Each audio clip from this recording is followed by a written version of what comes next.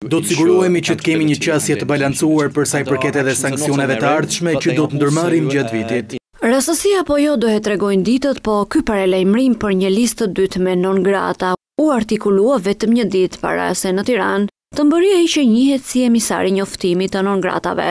Lord Stuart Peach, i dërguari i posaçëm i Britanisë së Madhe, ndodhet në Tiranë për një vizitë dyditore, këtë të enjte dhe të premte.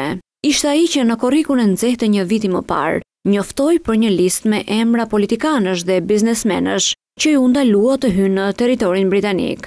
Ajo listë përmbante njëzet e shtatë emra nga e gjithë bota, për të cilët qeveria britanike tha se kishte të dokumentuara lidhjet me kriminalitetin dhe korrupsionin.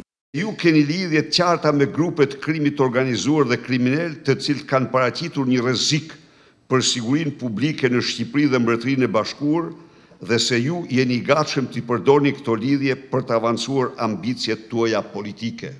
Dhe, dy.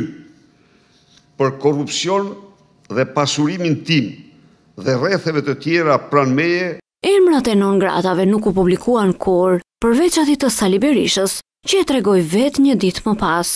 Se kur do të bëhet publike lista e dytë, kjo mbetet për t'u parë në ditët në vijim.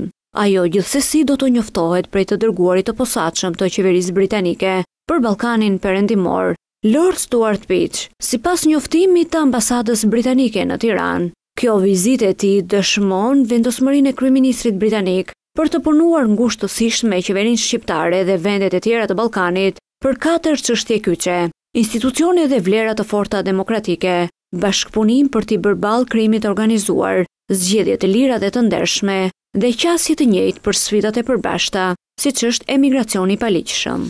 Këtë të enjte ai takoi presidentin Bajram Begaj dhe ministren e Jashtme, Olta Xhaçka. Lajmi më i shpejtë në celularin tënd!